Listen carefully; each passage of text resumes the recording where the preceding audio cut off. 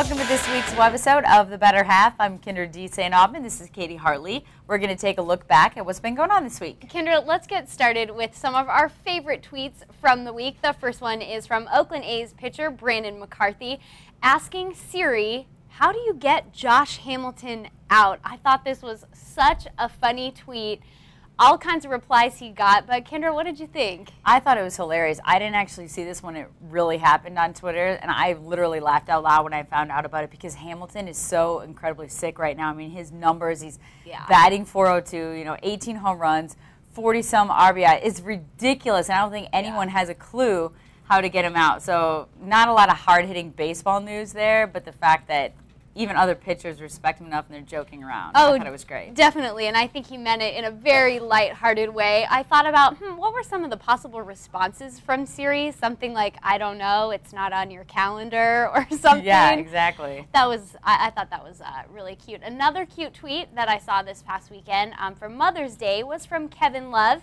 who says, On a day like today, you know all the athletes are secretly wishing their moms would come by at halftime with orange slices and Capri Suns. Love that because I totally can remember that. I, mean, I remember, you know, out on the soccer field and the mom coming down with the orange slices and the Capri Sun or whatever your fruit juice box of choice was mm -hmm. at that mm-hmm. time, depending on how old you are.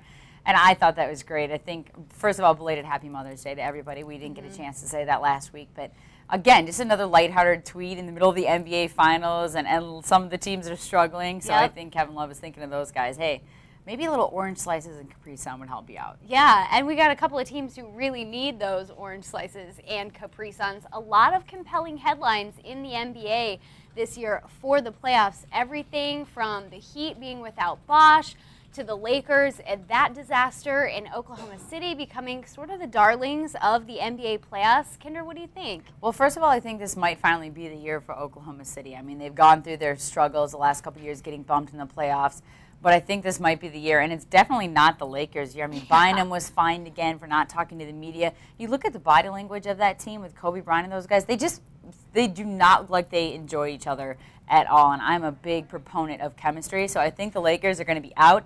And then, of course, like you said, Bosh being out, I think the Heat is maybe realizing that he's more important than anyone thought. And I think maybe everyone else is too, because everyone kind of said Bosh is the third wheel with that, you know, threesome with LeBron and, and Dwyane Wade and Bosh. I think people are realizing well, how important he yeah, is. Yeah, and all of a sudden, I don't think anybody's actually picking the Pacers to win this series. But it makes you go, should they be a little bit nervous because they're clearly not as good of a team without him. But I like the Metta World Peace James Harden yeah. thing going on. Of course, I did not want to see Metta World Peace playing at all in the playoffs, but David Stern had a different opinion about mm -hmm. that. Um, I, I don't, it, it, still feels uncomfortable to me after he's like, I'm not going to shake the hand of a substitute. Mm -hmm. Really? Well, and he didn't call him afterwards. He's like, I just kind of heard through the grapevine how he was doing. It wasn't a big deal. I mean, to me, it's like just step up and be the bigger person there, even if you're going to fake it. But I love the Pacers. I mean, going yeah. back to that, I, I, think that's that's an interesting matchup, and people underestimated them too. Yeah, definitely. Well, in another interesting matchup from the weekend at the Madrid Open was Serena Williams calling out her male counterparts. I thought this was very funny. This quote.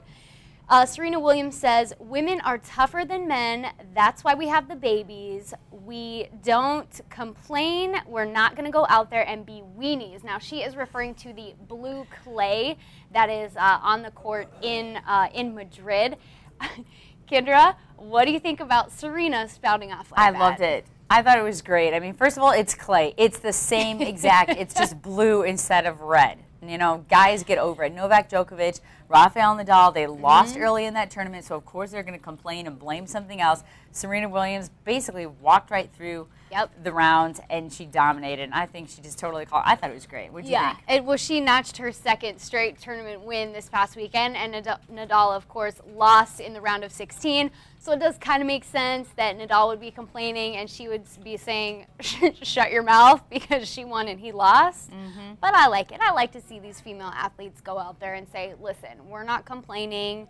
We're on the same playing field as you guys, mm -hmm. and they're the ones who are well, whoever's beating them is playing on the same surface. Mm -hmm. I mean, mm-hmm. I don't know how you can ever complain or blame the field yeah. or the turf or the clay or whatever it is that you're playing on when your opponent is playing on the exact same surface. Yeah. So get over it, suck it up, and move on. I mean, seriously, it's it's just a bunch of whiners. Yeah, great stuff from Serena Williams. Uh, and we are out of time, Kyndra. Until next week, you can follow her on Twitter at Kyndra620. You can follow me at FunKaty620, and we'll be back next week for another webisode of The Better Half. Yeah.